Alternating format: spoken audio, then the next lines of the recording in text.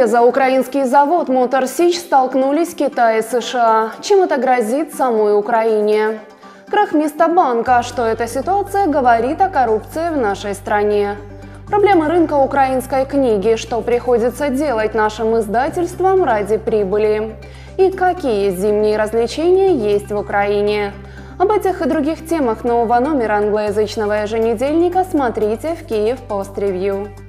У нас очень интересный выпуск с интересными историями. Будут две колонки в этом номере. Одна от Михаила Саакашвили, который периодически теперь пишет для нас. Колонка Михаила будет о том, как можно реформировать судебную систему в Украине. Также у нас будет колонка от Сергея Лещенко про банковский сектор в Украине и конкретно про недавний коллапс Мистабанка. И эта ситуация с банкротством Мистабанка вызывает очень много вопросов. Конечно, Иван Фурсин там участвует. У него неоднозначная репутация. Кроме того, в июле, по словам НБУ, с банком было все в порядке, и уже в декабре банк становится банкротом. Возникают вопросы, как это произошло, что случилось, получат ли все вкладчики свои деньги и что будет сделано, чтобы предотвратить такие ситуации в будущем. Как известно, за последние шесть лет половина банков в Украине обанкротилась. Во многих случаях там было инсайдерское кредитование, мошенничество на большом уровне уровне и так далее. Есть очень много вопросов, которые мы задаем в этой колонке «Киев Пост». Это уже второй банк, который обанкротился в 2020 году. Помимо этой колонки мы написали на этой неделе, конечно, и просто статью об этой ситуации. И мы задавали вопросы Национальному банку Украины. И кроме того, я напомнил руководству Национального банка, что мы давно ждали интервью с главой банка Кириллом Шевченко. И у нас в целом много много вопросов к руководству Нацбанка. Также на главной странице этого номера вы найдете статью о ситуации с заводом «Мотор Сич». Крупное запорожское предприятие производит двигатели для самолетов и вертолетов, а также промышленных газотурбинных установок. В последнее время китайские инвесторы агрессивно отстаивают свое право выкупить завод, что они пытаются сделать уже некоторое время. И эта сделка блокируется. Запад считает, что участие китайских инвесторов и покупка такого актива — это угроза национальной безопасности. Но в то же время никакие западные инвесторы и украинские не нашли средств, чтобы выкупить этот завод или национализировать его. Это даже не обсуждается, насколько я знаю. Поэтому мы с нетерпением ждем выхода этой истории, которую написали двое лучших наших корреспондентов – Бермет Талант и Игорь Косов. Мне кажется, что это не фантастика, это реальность, даже очень понятная реальность. И, к сожалению, это э, один из главных парадигмов э, независимой Украины, когда разные страны или разные очень серьезные силы борются за Украину. Ну, то есть борются друг с другом, чтобы либо завоевать Украину, либо чтобы, либо чтобы что-то получить в Украине. И это подобная ситуация, просто есть одно исключение большое. Это не Россия и Запад, это не э, демократы и республиканцы, как во время импичмента Трампа, то есть при Трампе, это Китай и США. То есть Китай хочет, ну то есть китайская компания, которая, вероятнее всего, имеет огромные связи с э, властями в Пекине, хочет приобрести 56% акций в City.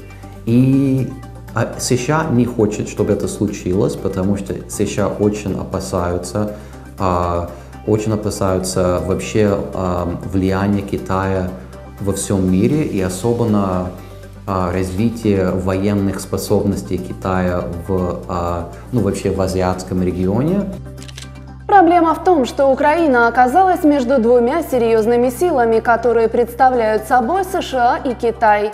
И пока не ясно, что может помочь нашей стране выйти из этого кризиса.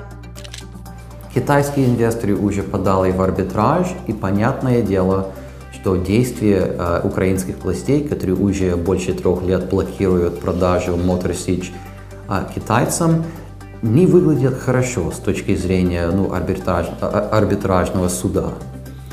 Как это закончится, мы пока не знаем, но это очень серьезная проблема, когда Украина может потерять Switch, может потерять огромные бюджетные деньги. И еще, возможно, даже если транзакция произойдет, и китайские инвесторы получат 56% в акции Motor Switch, все равно есть риск в принципе, хотя, конечно, многие говорят, что это не так, но есть риск, что эти двигатели, которые являются очень серьезной а, а, интеллектуальной собственностью компании в Украине, это вообще технология, не только двигатели, эта технология может попасть к китайцам и через китайцев к России. То есть вообще очень много разных вопросов в, в этом деле, в этом конфликте, и не очень понятно, как это закончится. Это очень интересная ситуация, очень серьезная, но, к сожалению, тоже не ясная. Помимо всего прочего, приобретение китайской стороной в разных странах акций компаний, в том числе связанных с инфраструктурой, является прежде всего серьезным политическим вопросом. Например, в Европе, в США я знаю, что этот вопрос а, поднимался, может быть, неоднократно. Но здесь а, очень специфическая ситуация, потому что Motor City считается с, ну, стратегическим предприятием. То есть если бы Китай хотел приобрести 60% акций Рошена, было бы другое дело, потому что Рошен производит конфеты. Это, это не стратегическая отрасль для экономики и для безопасности страны. Но Моторсич производит двигатели для вертолетов, для самолетов, то есть это вообще очень серьезная технология, технология, которая Согласно а, одному из наших источников, а, который является экспертом США, технология, которая, возможно, лучше, чем то, что у нас есть в США, и лучше, а, лучше, чем то, что есть в Китае. То есть вообще мы говорим о серьезной хай-тековской технологии. И перейдем к еще одной теме номера – ситуации на национальном рынке книг. Сегодня почти 300 украинских издательств вынуждены самостоятельно удовлетворять спрос как на украинскую, так и на русскоязычную литературу. Всегда часть украинской идентичности старается защищать и продвигать украинский язык. И это особенно стало популярно после Евромайдана, после того, как Россия начала войну с Украиной. И в то же время очень отрезляющая информация от украинских издателей книг, что украинцы все еще предпочитают покупать книги на русском языке. Из-за этого украинская книжная индустрия очень страдает. Я писала про книжковий ринок України адже, як виявилося, у нас на ньому багато проблем. По-перше, наш ринок дуже маленький.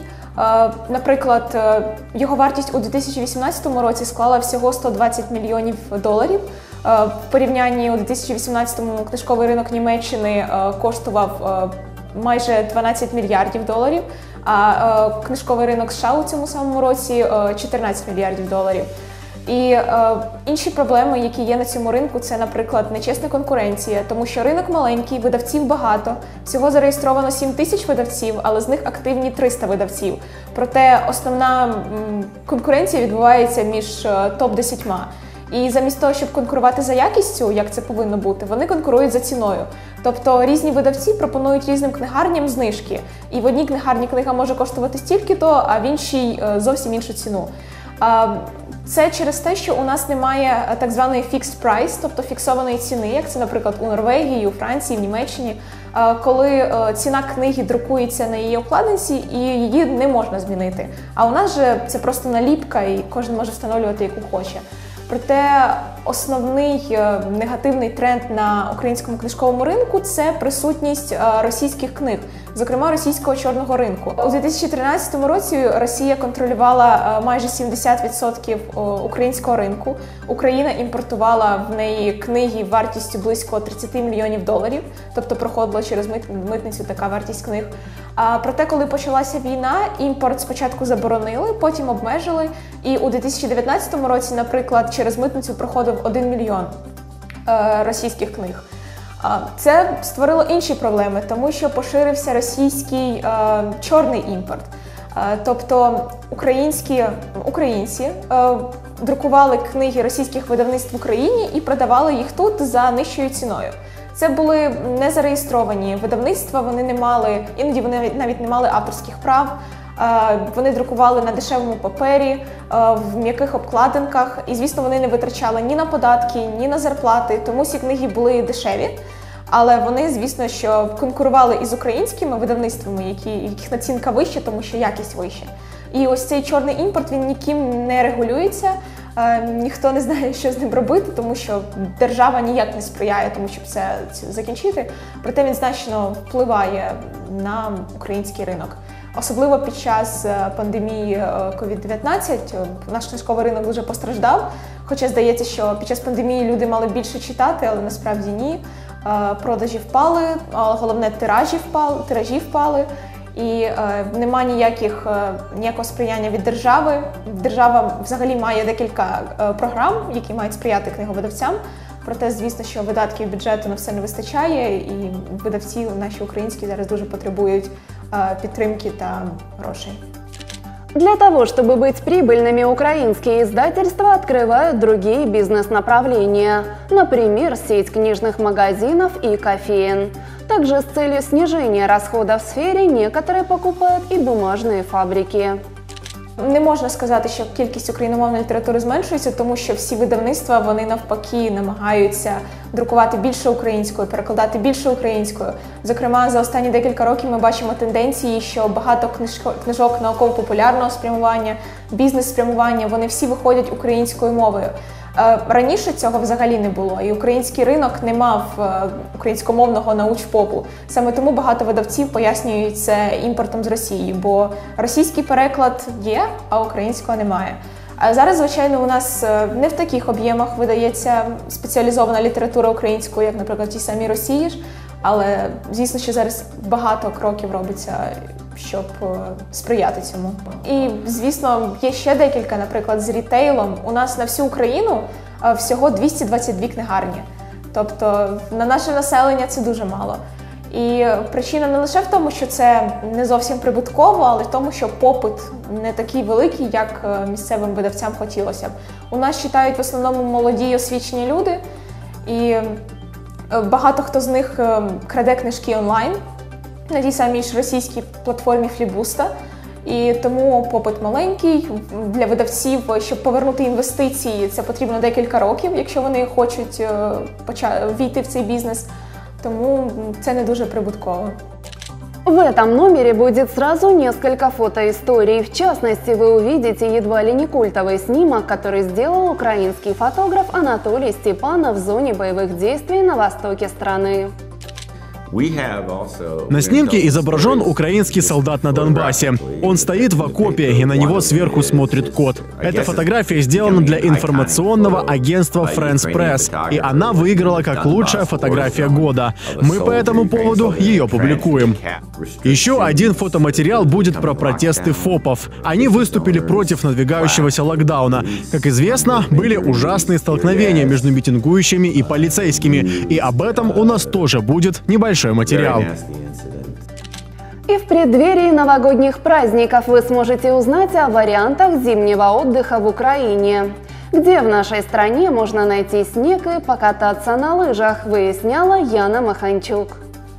Незважаючи на карантинні обмеження, які е, запровадив уряд, е, тим не менше новорічні свята наближаються, так як і різдвяні. Е, і враховуючи те, що цього року українці вже не зможуть так е, подорожувати за кордон, як можливо звикли це робити. Я написала про те, де можна в Україні провести зимові свята. Ну, здебільшого це в Карпатах, тому що там є дуже багато різних курортів, так само і лижних курортів на цьому акцент, де можна спробувати різні види зимових, е, зимового спорту і такі різні діяльності.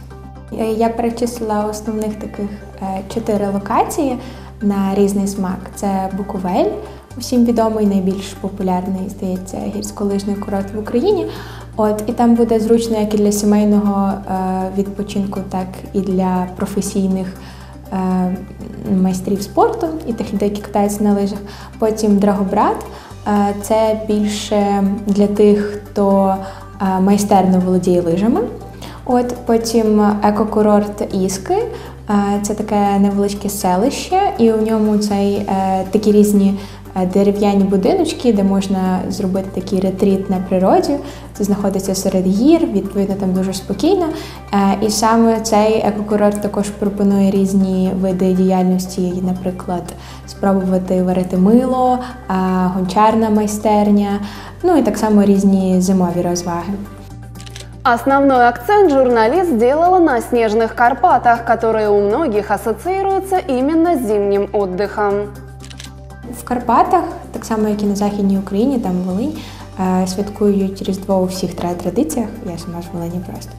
От тому е, однозначно, я думаю, що там будуть е, на Різдво і на Новий рік е, мі- місцеві різні традиції святкуватися. Тому так, але я не робила цьому акцент, я більше робила на тому, які там можна види діяльності спробувати і які зимові розваги. Насамперед це лижі, як я вже сказала. А, От там є і е, траси і для тих, е, хто лише новачки, також є лижні школи, хто ще не вміє кататися, але хоче навчитися. А для тих, хто не любить екстремальні види спорту, а, можна покататися на санках. Також е, з гірки з'ї- з'їжджати на таких платформах, потім е, кататися з хаскі собаками в таких упряжках. Якщо більше в теплі, то як я вже сказала, можна варити мило, потім робити в гончарні різні вироби. Ну і також місцева кухня це мені здається велика особливість Карпат, тому що е, навіть в Києві не, можна такого спробувати, як можна це спробувати в Карпатах. От. Ну і звичайно, сауна, масаж і бані, і їхні традиційні е, чани. Е, Це коли можна на свіжому повітрі, навіть взимку купатися, і там дуже гаряча вода, це дуже добре для здоров'я. І також це такий е, ну, в- відома, м, відомий вид діяльності в Карпатах. К тому же Укрзалезница поддержала тенденцию путешествий по стране и запустила дополнительные рейсы в Карпаты. Ну, наприклад, в цьому екокурорті Іски ем, там більше роблять акцент на тому, що це ековий відпочинок. Відповідно, е, там немає, ну, якщо порівняти до Буковелю, там більше е, дуже така розвинена інфраструктура, то в Ісках е, це більше про затишок і про те, щоб поєднатися з горами і з е, місцевими традиціями. Від, відповідно, е, це більше про Карпати і про те, як відчути такий стиль життя в Карпатах поруч тими ремеслами і цим всім. І зараз ще цей екокурорт не є настільки популярним, як, наприклад, Буковель або той самий Драгобрат. Але тим не менше це є щось таке дуже локальне і місцеве і от автентичне. Самые свежие новости, эксклюзивные статьи о бизнесе, политической, социальной и культурной жизни читайте в новых выпусках украинского англоязычного еженедельника, а также непосредственно на сайте Киевпост. Подписывайтесь, чтобы поддержать независимую журналистику в Украине.